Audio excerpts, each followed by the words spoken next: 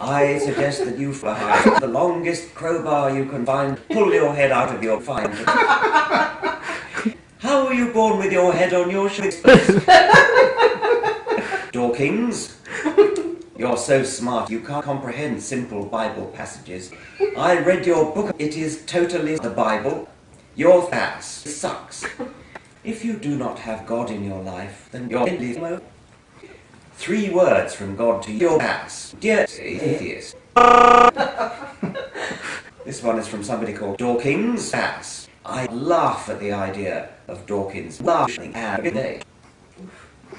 I will laugh at day. This is fucking awesome.